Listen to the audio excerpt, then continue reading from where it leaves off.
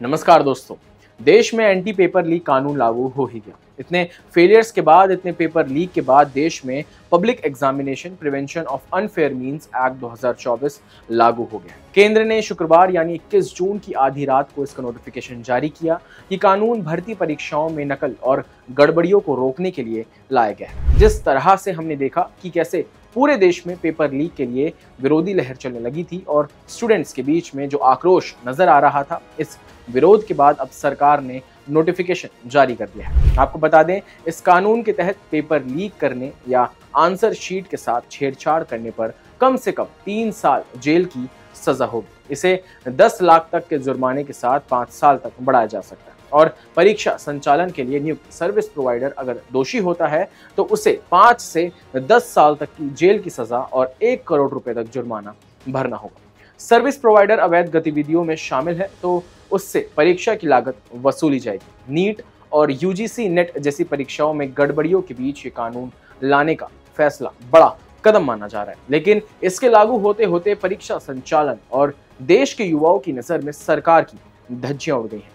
यानी इस कानून को आते आते बहुत देर हो गई इससे पहले केंद्र सरकार और जाँच एजेंसियों के पास परीक्षाओं में गड़बड़ी से जुड़े अपराधों से निपटने के लिए अलग से कोई भी ठोस कानून नहीं था। आपको बता दें, public examination, prevention of unfair means act इसी साल 6 फरवरी को लोकसभा और 9 फरवरी को राज्यसभा से पारित हुआ था।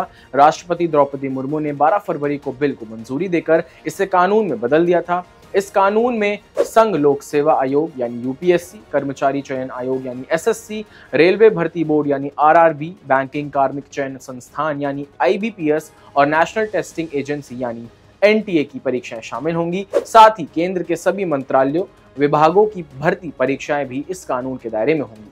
इसके तहत सभी अपराध संज्ञ और गैर जमानती होंगे। अब सोचने वाली बात है कि सरकार ने आनंद फानन में अधिसूचना जारी क्यों की? दरअसल, मेडिकल कॉलेजों में दाखिलों के लिए होने वाली नीट परीक्षा गड़बड़ी को लेकर एनटीए विवाद में है। आपको बता दें, नौ दिनों में एनटीए की तीन परीक्षाएँ रद्द की गई हैं। पहली नेशनल कॉमन एंट्रेंस टेस्ट 12 जून दोपहर में दोपहर में कराई गई थी और शाम को रद्द कर दी गई थी। ये परीक्षा चार साल के इंटीग्रेटेड टीचर एजुकेशन प्रोग्राम में एडमिशन के लिए होती थी। दूसरी यूजीसी नेट 18 जून को कराई गई थी और 19 जून को ही रद्द कर दी गई थी। C S I R U G C net पच्चीस जून से होनी थी और 21 जून को टाली गई। इस वजह से आनंद फानंद में अधिसूचना जारी की गई है, क्योंकि एनटीए परीक्षाओं को लेकर काफ़ी विवादों में आइए अब इस कानून के तहत उन 15 पॉइंट्स को जानते हैं जो अपराध की श्रेणी में मानी जाएँगे। किसी परीक्षा का क्वेश्चन पेपर या आंसर की लीक करना। क्वेश्चन पेपर या आंसर की लीक करने में किसी के साथ शामिल होना। बिना अनुमति क्वेश्चन पेपर या OMR शीट अपने पास रखना। परीक्षा के दौरान किसी से जवाब लिखने के लिए मदद लेना। परीक्षा दे रहे कैंडिडेट को डायरेक्ट या इनडायरेक्ट तरीके से मदद करना। एग्ज़ाम आंसर शीट या ओएमआर शीट के साथ छेड़छाड़ करना। कॉपियों के मूल्यांकन में बिना अनुमति छेड़छाड़ करना।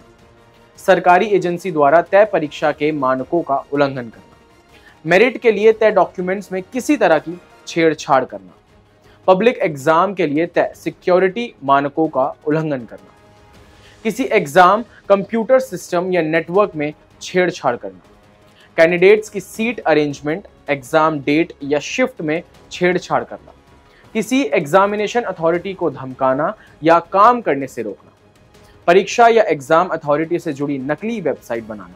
नकली एडमिट कार्ड जारी करना या नकली एग्ज़ाम कराना। ये तो बात तय है कि इस कानून के आते आते काफ़ी देर हो गई। कई बच्चों के भविष्य पर सवाल भी उठ गए।